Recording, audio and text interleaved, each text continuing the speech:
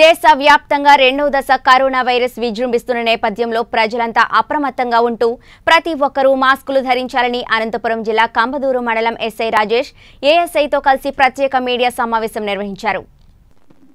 ఈ సందర్భంగా ఆయన మీడియాతో మాట్లాడుతూ ప్రధానంగా బయట ప్రదేశాల్లో తిరిగే ప్రజలతో పాటు వాహనదారులంతా తప్పనిసరిగా మాస్కులు ధరించాలని లేకపోతే రాష్ట్ర ప్రభుత్వం ఆదేశాల మేరకు అటువంటి వారిపై జరిమానా విధించి కఠిన చర్యలు తీసుకుంటామని హెచ్చరించారు. కావున కంబదూరు మండలంలోని ప్రజలంతా మాస్కులు శానిటైజర్లు ఉపయోగిస్తూ భౌతిక దూరం పాటించాలని అంతేకాకుండా కరోనా వైరస్ కట్టడి కోసం కృషి చేయాలని ఎస్ఐ రాజేష్ విజ్ఞప్తి చేశారు.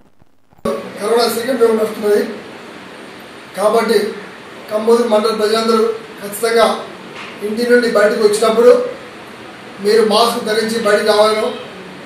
కరోనా వ్యాప్తిని అధిగమించాలి ఎవరైనా మాస్క్ లేకుండా రోడ్లపై తిరిగినా సంతలు తిరిగినా లేదు అనవసరంగా బయట ఉన్నా వారిపై చట్టపరంగా చర్యలు తీసుకుంటాము. వారికి ఫైన్ వేస్తాము.